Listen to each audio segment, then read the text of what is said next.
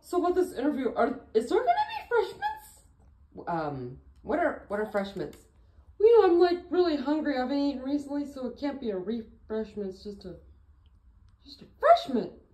Oh, uh, no, I not right now. Well, we're gonna be defreshed. Okay.